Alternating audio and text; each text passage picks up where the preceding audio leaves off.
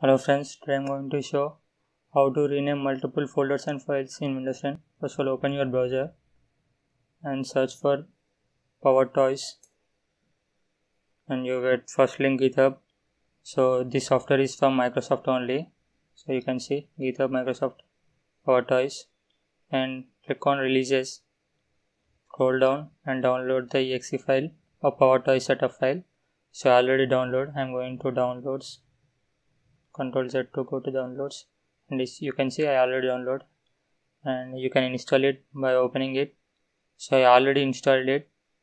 So after installing you just need to so I'm going to test folder here.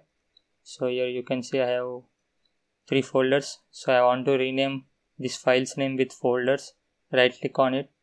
Now you will see after installing the software power rename click on it. So I'm gonna replace with files search for files and replace with folders.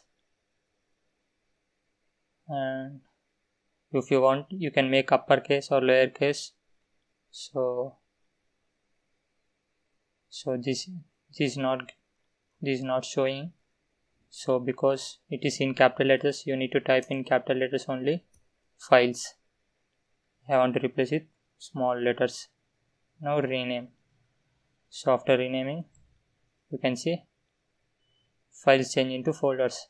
So you can change into four, four files also. You can see I have image files and text file here. Now same right click on it power rename. So I'm replacing files with